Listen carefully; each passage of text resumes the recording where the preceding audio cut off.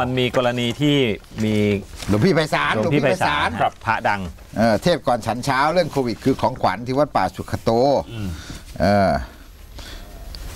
ก็ก็โดน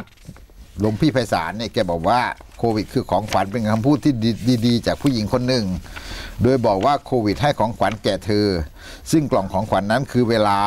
เนี่ยนับตั้งแต่โควิด -19 ระบาด เธอครับได้เวลากลับมามากมายอาทิ เวลาชีวิตที่เคยหมดไปกับการเดินครับทาง เวลาที่หมดไปกับสิ่งที่ไม่ค่อยมีประโยชน์ ตอนนี้มีเวลาให้กับที่บ้านอย่างไม่เคยทำมาก่อน พ่อดีใจที่ลูกสาวอยู่บ้านหลานก็ดีใจที่ป้าอยู่บ้านทั้งวัน ตอนนี้มีเวลาปลูกต้นไม้ดูแลต้นไม้รดน้ำต้นไม้ทุกเช้า จากที่ไม่เคยทำเลย เพราะต้องตื่นแต่เช้าไปทำงานทุกวัน เมื่อก่อนเชื่อแน่ว่าหลายคนไม่ค่อยมีเวลา ได้ได้มีเวลาอยู่บ้าน ไม่ค่อยได้มีเวลาให้กับพ่อแม่ ไม่มีเวลาให้กับกระทั่งตนเอง แต่ด้วยสถานการณ์การแพร่ระบาดโควิด -19 จึงทำให้ตอนนี้มีเวลามากมาย ครับนี่ซึ่นี่งนี่เราเปลี่ยนอารมณ์มามาเรื่องนี้นะนะะคือต่ฮะเอาเอาเป็นว่า ผมก็เข้าใจอยู่ว่าพระไพศาลท่านคงพูดถึงในแง่ของมุมของคนชั้นกลางที่เคยชีวิตมันเคยเคร่งเครียดเคยทำงานอะไรต่างๆแต่นี้ได้มาอยู่บ้าน มันก็มีมุมด้านที่ดีของเขาฮะแต่ทีนี้ท่านอาจจะ ไม่ได้พูดไอ้มุมที่มันอะไรอะ มันทำให้ชีวิตคนลำบากยากเข็นแบบวิบัติมากมายตกงานอะไรต่างๆเนี่ย คนก็เลยวิจารณ์พรึบเลยว่า เฮ้ยหลวงพี่พูดด้านเดียวอย่างนี้ได้ไง อืมอืมอืมคือคือพูดในยามที่ข้างนอกเนี่ยทุกข์ร้อนกันไปหมดเออผู้คนไปร้องห่มร้องไห้ที่กระทรวงการคลัง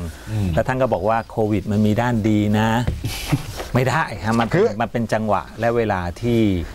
มันทำให้เกิดคนรู้สึกว่าพระท่านไปหมิ่นแคลน ผู้คน หรือไม่เห็นเอางี้อะไม่เห็นความทุกข์ยาก อืมอืมก็อาจจะไม่เออแต่ไม่มีเจตนาหรอกเข้าใจเราก็เข้าใจหลเข้าวงใจพี่ไพศาลเนี่ยคือถ้าพูดในห้องตามแกมาตลอดนะ ฮะ ผมเข้าใจอยู่ว่าพระไพศาลนี่แกไม่ได้หมิ่นแคลนเรื่องไอ้คนยากคนจนพระไพศาลนี่เป็นคนที่ไม่ใช่ขนาดนั้น แต่หมายถึงว่า แกจะเผลอคิดไปแต่ว่าไอ้ พะวงไปกับคล้ายๆกับว่าอะไรอะเผลอเผลอไปทางด้านเดียวกับไอ้สิ่งที่มันมองเห็นกับชีวิตของคนชั้นกลางจำนวนหนึ่งว่ามันทำให้แบบรู้สึกว่าได้คิดได้อยู่บ้านและได้คิดได้ตระหนักอะไรมากขึ้นอะไรแบบเนี้ย ซึ่งมันเลยกลายเป็นมุมเดียว พอเป็นมองมุมเดียวเนี่ยแล้วพอมันออกไปในสถานะพระไพจริงศาลก็เลยทัวร์ลงใช่ใช่ คือจริง ๆ ถ้าสมมุติว่ามีญาติโยม ซึ่งเป็นคนชั้นกลางเข้ามาหา แล้วก็บอกว่าก็ยังได้เงินเดือนอยู่ แต่มีเวลามากขึ้น แล้วท่านก็เทศเรื่องนี้เนี่ยมันก็ไม่เป็นปัญหา แต่ว่าบังเอิญมันไปอยู่ใน Facebook หรือว่าในโพสต์แล้วมันเป็นสาธารณะเอออ่าท่ามกลางผู้คนที่กำลังทุกข์ยากอยู่ มันก็เลยเป็นปัญหาแต่ว่าโดยเจตนาเนี่ยก็คงไม่มีอะไรอืมเราเข้าใจอยู่ใช่ไหมเราเดาเรื่องเจตนาได้อยู่ แต่แน่นอนแหละฮะเมื่อเป็นทัวร์ลงอย่างนี้ก็เอ่อเมื่อออกมาแบบนี้ก็ต้องรับกับคำวิจารณ์อยู่แล้วแหละครับ เป็นเอ่อก็ก็ดีฮะก็มีพระบางท่านใช่ไหมออกมาวิจารณ์พระไพวันก็เลยวิจารณ์ฮะครับ สิ่งที่พระไพวันวิจารณ์ก็ต้องถือว่าเป็นมหาปวารณาแล้วกันคือพระภิกษุคือคือเออวิจารณ์กันเองครับนะฮะเอ่อปกติจะเปิดได้วันเดียวนะวันออกพรรษา อันนี้ก็อ๋อในพอการมีวิจารณ์กัน Facebook ได้แล้วใช่ไหมก็วิจารณ์กันทุกวันเลยครับเอาพี่พี่ชูเคยเคยบวชมาแล้วใช่ไหมไม่เคยฮะไม่เคยอ๋อโอเคแต่แต่รู้รู้รายละเอียดดีนะฮะ โอเคเราเราพระเปลี่ไพวันก็เลยวิจารณ์บอกว่าอาจารย์อยู่กับชนชั้นกลางนานไปหรือเปล่าครับ ธรรมะของอาจารย์มันถึงเป็นประโยชน์แต่กับคนคนชั้นกลางอย่างนี้ ผมจะไม่แย้งอาจารย์ที่บอกว่าโควิดคือของขวัญเพราะมันเป็นอย่างนั้นจริง ๆสำหรับคนมีอันจะกิน เป็นของขวัญของคนที่แม้อยู่เฉยๆหรือไม่ต้องทำงานเป็นเวลา3 4เดือนก็ไม่เดือดร้อนแต่โควิดมันคือยาพิษสำหรับใครหลายคนในโลกนี้ไม่ได้สวยงามอย่างที่ว่าเมื่อเกิดโควิดแล้ว ทุกคนจะอยู่บ้านปลูกผักทำสวนลื่นลมกับชีวิตได้ อย่างไม่ต้องทุกร้อนหรอกนะครับโควิดไม่ใช่ของขวัญสำหรับใครหลายคน แต่มันคือยาพิษ ที่ทำให้ใครหลายคนต้องมาเป็นผู้ป่วยที่ถูกรังเกียจจากสังคม ที่ไม่ได้รับการช่วยเหลือและต้องล้มตายไปอย่างน่าอเนจอนาจใจใช่ไหมทำให้หลายคนต้องถูกออกจากงานนะและกลายเป็นคนที่ตกงานคนไร้บ้านคนไม่มีข้าวสารกรอกหม้อเนี่ยคือแล้วคนเอ่อที่ต้องปิดชีพชีพตัวเองนะฮะเอ่อแม้คือผมเอ่อเอ่อหลวงพี่พรานบอกว่าแม้ผมจะนับถืออาจารย์มากในเรื่องของการแสดงธรรมในหลาย ๆ ครั้ง แต่ธรรมะไม่ควรมีไว้สำหรับการปลอบขวัญคนที่มีอันจะกินอย่างเดียวนะครับ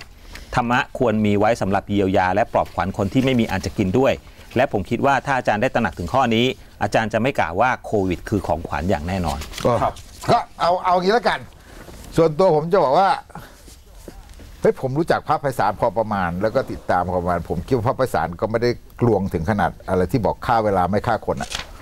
เออดีกว่าฆ่าคนอะไรเงี้ยฮะพระไพศาลนี่ก็แกก็มีแน่นเอ่อบางด้านแกก็แน่นอยู่ในเรื่องของความเอ่ออะไรอะ ความผูกพันกับชีวิตคนกับอะไรต่างๆนี่แกพอสมควรแต่ผมว่าครับรอบเนี้ยหรือว่าหลาย ๆ รอบที่ผ่านมาเนี่ยแกจะมีลักษณะของแกคือว่าแกอยู่กับเอ่อคนชั้นกลางมากไปหน่อยจริง ๆ คือบางทีแล้วแกก็เผลออันนี้มันก็เป็นเรื่องที่แกเผลอเวลาที่แกคล้าย ๆ กับว่า เผลอมองไม่รอบด้านเออหลุดสายตาไปหลุดหรืออะไรก็แล้วแต่ เป็นไปได้ฮะครับเป็นไปได้ก็ก็ก็ติติงกันอยู่แล้วติดติงได้ก็เพราะไปศาลเป็นคนที่ ที่ที่ติดติงได้อืมอืมนะครับเคยเคยไปฟัติติงมันไม่ใช่คภาษาเรา มันไม่ใช่ภาษาที่ควรใช้กับพระนะ แต่ว่าใช่ก็ไม่เป็นไรใช่เราก็ใช้กันนะครับแบบเข้าใจคือกันแกเนี่ยเป็นผมคนเลยไม่ที่วิจารณ์คือไม่รู้ผมยังคิดว่าพระไพศาลก็เป็นคนที่ผมเข้าใจหลาย ๆ เรื่องอยู่แล้วก็เอ่อผมก็นับถือหลาย ๆ ด้าน เพราะว่าแกเป็นคนที่สอนอะไรแล้วแกไม่ได้ถึงขนาดว่าไปสุดโต่งครับบางครับบางครั้งเข้าใจแกไม่ได้กลางๆไปสุดโต่งแบบบางพระบางรูปอะไรต่างๆที่ที่แบบคนชั้นกลางไปสุดโต่งขนาดนั้นใช่หรือว่าใช่หรือ ว่าโลกสวยแล้วไม่ไม่เข้าแก่นอะไรเลครัยบไม่ไม่เข้าใจแก่นอะไรเลยบางบางบางคนเป็นอย่างนั้นครับ